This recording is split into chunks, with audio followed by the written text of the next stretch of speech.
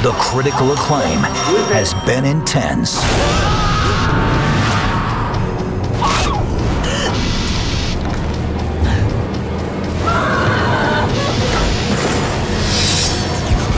I'm gonna get you out of here. From the director of The Hills Have Eyes.